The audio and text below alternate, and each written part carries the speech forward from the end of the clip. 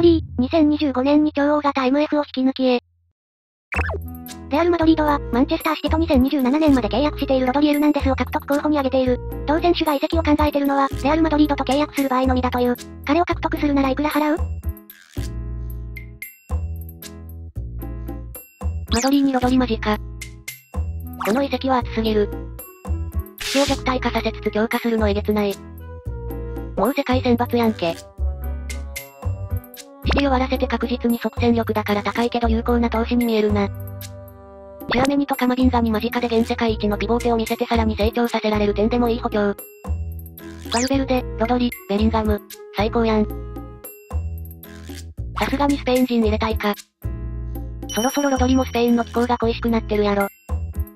その選択肢あるなら親友のコケがいるし普通にアトレティコ戻ってきて。